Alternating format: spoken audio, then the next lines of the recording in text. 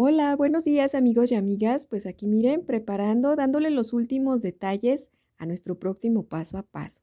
Pues esto que ven aquí es un lindo y hermoso cuello que le tejí a este bonito poncho. Miren nada más, ya estoy a punto de finalizar. Este es el paso a paso que nos espera pues el día de mañana. ¿ok? Y bueno, que sigan teniendo una bonita mañana y un rico desayuno. ¿ok? a ponernos a tejer. Bye.